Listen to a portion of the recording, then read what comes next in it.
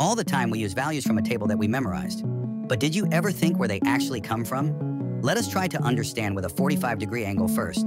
Take a square of side A. Now cut it diagonally, you'll get a right angle triangle. Eachin, let's take A equals 1. Then the hypotenuse becomes square root 2. Now sine 45 degrees equals 1 over square root 2. Cosine 45 degrees equals 1 over square root 2 45 degrees equals 1 over the square root of 2. Tangent 45 degrees equals 1 triple the size of the triangle, and still we get the same values.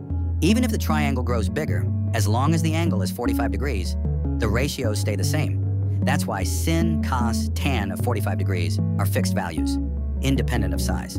Now let's see 60 degrees and 30 degrees. Start with an equilateral triangle of side A. Drop a height, we get a right triangle, so these values don't come from a magic table, they're born from simple geometry. For detailed explanation, go to my channel, Physics with Asif.